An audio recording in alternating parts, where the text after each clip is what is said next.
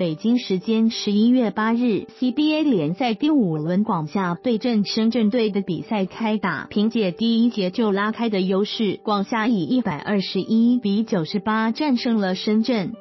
本场比赛，小外援福特森的出色发挥成为了球队获胜的关键。他全场比赛轰下二十八分、五个篮板、十五次助攻。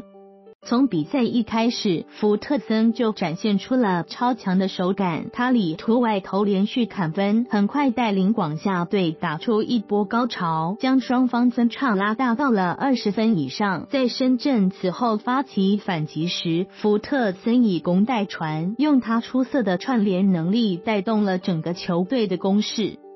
要知道，这已经福特森连续第二场面对强敌时有出色的表现了。上一场广厦客场击败辽宁，福特森就打出了十四分、九个篮板、十八次助攻的逆天数据。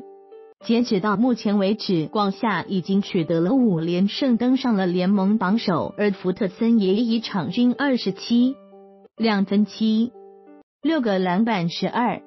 六次助攻的表现，成为了整个联盟最出色的小外援。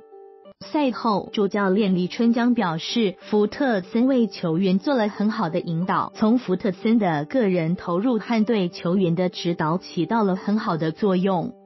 如果福特森能够延续这样的出色状态，广厦一定还可以将连胜一直持续下去。